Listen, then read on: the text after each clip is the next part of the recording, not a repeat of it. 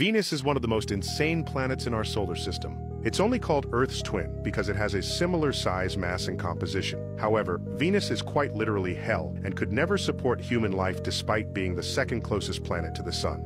At an average distance of 107 million kilometers, Venus is the hottest planet in our solar system. The highest recorded and confirmed temperature on the planet's surface was 467 degrees Celsius. This measurement was taken by the Soviet probe Venera 13, which landed on Venus in 1982 and survived for 127 minutes before succumbing to the extreme heat and intense atmospheric pressure.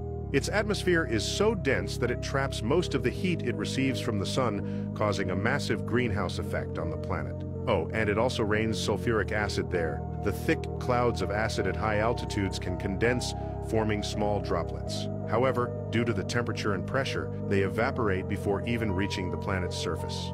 Nothing, not even the rain, stands a chance of existence on this planet.